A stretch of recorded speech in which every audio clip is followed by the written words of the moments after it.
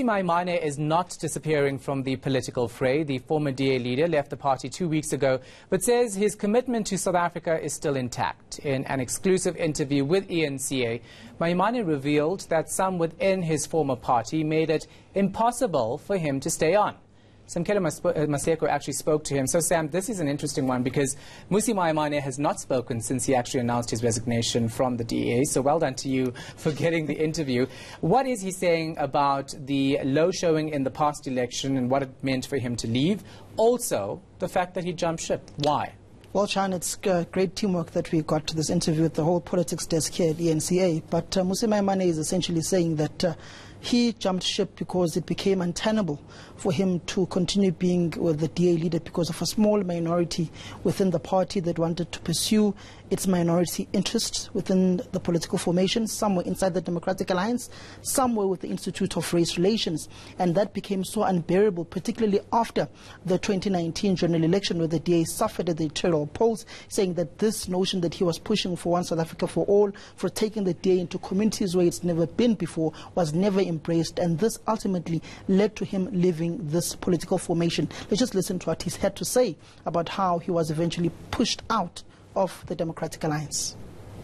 If you look at the electoral results in, in, in, in May this year, it became clear that in some ways our country was fraught with a racial polarization. It became clear that a few South Africans happened to not want a project of a reconciled South Africa that redresses historical injustices. It so happened that some happened to be in an institute, and it so happened that others happened to find themselves within the DA.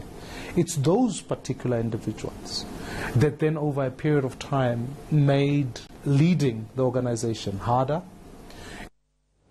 Sounds to me like he's basically saying, in a very, you know, untoward way, that the DA is racist in a very diplomatic and succinct manner.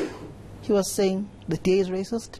The DA wants to continue representing int interests of a small minority and not represent the total demographics of South Africa in a way that he says that particularly after the 2019, this year's election, it became apparent that a small minority within the party, working with the Institute of Race Relations, You'd remember Hermanus Pretorius mm -hmm. with that letter, white man, Premier of the Western Cape, effecting change, saying that they were particularly interested in this particular demographic and not the totality of the racial issues beleaguering South Africa and the socio-economic inequalities that persist and still ravage the black majority within the country. He should learn a thing from Patricia de Lille and actually be blatant about what's going on after he left. So let's talk about his political future. What's that going to look like?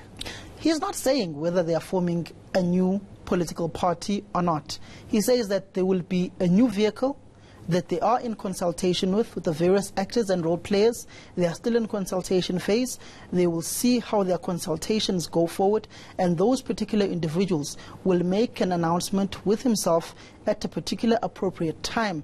That's when this announcement will be, make, will be made, but he is not leaving the political arena. He loves South Africa and wants to continue building one South Africa for all outside of the Democratic Alliance. Interestingly, he says that the opposition space, which is currently held by the DA as the official opposition, will be a contested terrain which will not solely be dependent on the Democratic Alliance, which says a lot from a former mm. leader of this political party. But let's just hear what he had to say about this new vehicle that he is part of and forming.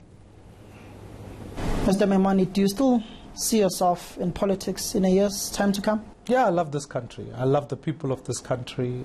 I love the vision that I've articulated of a non-racial South Africa, an inclusive South Africa, a country upon which opportunities and are given to all citizens. This is something I will give my life to. I, I, I have spent the, the last while obviously engaging different um, actors, different players in society. And at the right time, I think uh, those particular individuals need to be able to articulate for themselves. My, my duty is to say, what I know is that the system as we have it now doesn't work. How do we change it for the future? And so, at the right time, we will, will be able to communicate what that in fact will look like and how we can engage more society. I think more citizens must have a dialogue. And It's very interesting because I remember, and I'm, i might be using the word loosely here, because I remember Khang saying that they were launching a new vehicle or venture as well. So we can draw the links, right? You can draw the links, and you can pretty much tell that uh, the former leader of the DA feels disheartened, feels out, out hot done by the DA. And what I particularly found interesting, which will probably be in the 10 minute insert we'll play later on, is what he had to say about his former chief whip, mm. John Steenhuisen which is rather interesting because he doesn't say they've got a rose relationship. He says that uh, he's got a new career path that is totally devoid of what uh, John Steenhuisen is wanting to pursue within the Democratic Alliance, and also hinting that John Steenhuisen and the leadership of the Democratic Alliance may, want, may be wanting to pursue interests of a small minority group, yeah. which he's not part of.